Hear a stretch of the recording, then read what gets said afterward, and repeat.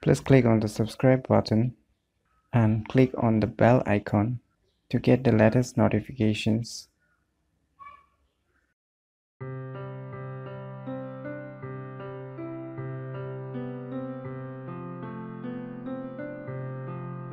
Hello everyone, it's me JB from Unique Tutorials.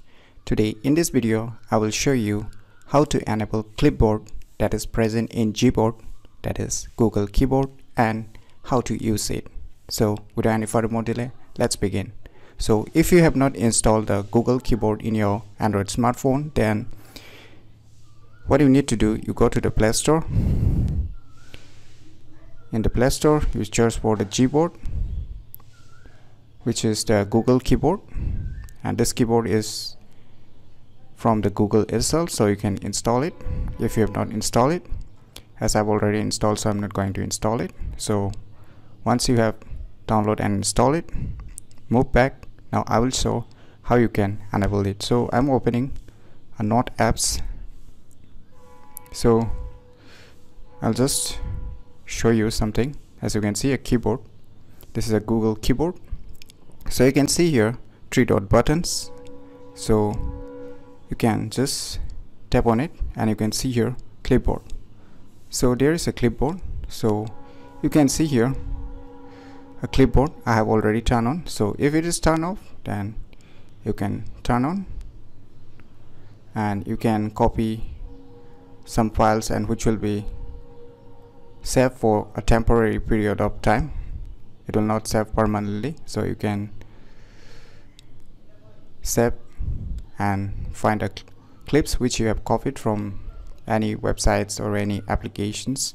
And one more good thing that you can see here here is a pencil like icon buttons. So when you tap on it there is a options to select and delete those files too if you don't need anymore. And in the keyboard itself you can click on this pencil button again click on the plus and you can directly save some clips like say I'm typing Google and you can click on the save and you can save it.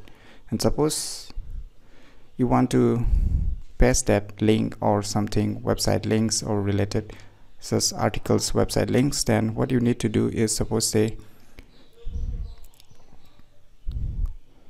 you click those three buttons again and go to the clipboard and you can select the website link say this is a website link suppose just you take it as an example then you can paste it in the wherever you want to paste it. And once you are done click on the done. That's all.